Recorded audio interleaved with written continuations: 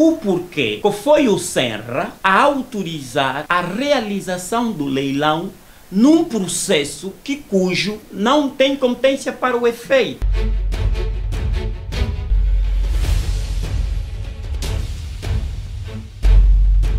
O jurista e advogado Francisco Muteca disse ser ilegal e apressada a decisão tomada pelo Serviço Nacional de Recuperação de Ativos de leiloar 48 viaturas e outros bens apreendidos no processo do caso Lussat, avaliados em mais de 2 bilhões de kwanzas, uma vez que não são bens expressíveis ou deterioráveis, como Eduarda Rodrigues, diretora do Senra, justificou em entrevista à televisão pública de Angola. Este processo de anúncio deste leilão considero um procedimento ilegal, porque não obedeceu à tramitação, o ritualismo legal. Ora, a avaliação dos bens do Major Pedro Lussar não ficou claro pelo próprio Senra, não notificou os advogados do processo, não ficou claro e os próprios arguídos eh, nem sequer foram notificados sobre essa questão em concreta pelo facto da incoerência e falta de desarticulação,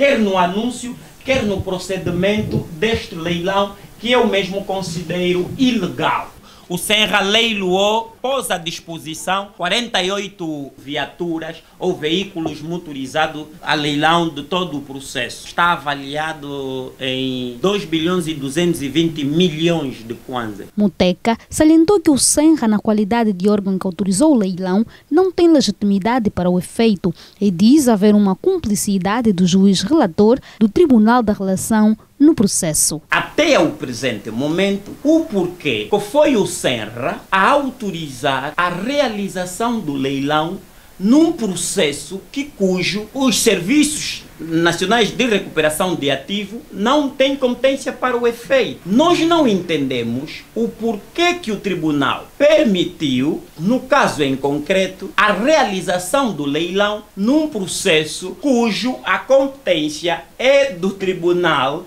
no caso do Tribunal da Relação e não do Senra. Nós não entendemos o porquê que o juiz relator deste processo permita a autorização da realização do leilão após a prolação do acórdão. Francisco Muteca assegurou que os advogados do processo caso Lussat irão escrever nos próximos dias a Ordem dos Advogados de Angola para solicitar o afastamento da diretora do Serviço Nacional de Recuperação de Ativos, Eduarda Rodrigues Neto, junto do Conselho Superior dos Magistrados do Ministério Público, por esta atropelar a lei e prestar um mau serviço aos angolanos.